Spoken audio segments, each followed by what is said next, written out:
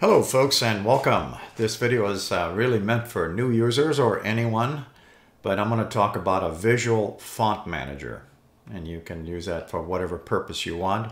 But um, this tool will show you what the fonts uh, look like and in different point sizes. Linux Mint 21.3 Cinnamon, filming in 1920 by 1080. You can adjust your YouTube player accordingly if necessary.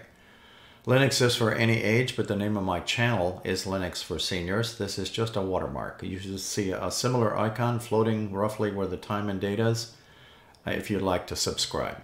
If that icon is missing, that normally indicates you're watching my video on someone else's channel. And you can go look me up on YouTube, Linux for Seniors. Or you can put in at Linux for Seniors, all one word, in a standard web browser search engine. This is going to be a very quick video. So it's called Font Manager. Basically, if you don't have it installed, I'll show you how to install it. But this basically is going to show me what these things look like. And it starts, so you can probably make that out. It says 8 point down to 20 point, and it gives me an idea what these things look like. Okay. Just to give you a quick uh, reference to some of these fonts. So that one's a cute one.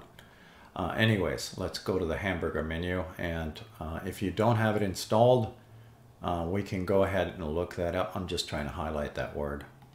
And uh, we can go find that on your software manager.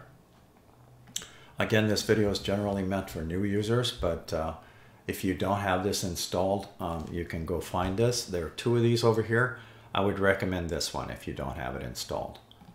And uh, Font Manager, and you'll see GNOME Desktop and just hit the install key. You can see that's the same app. Other than that, thank you for watching.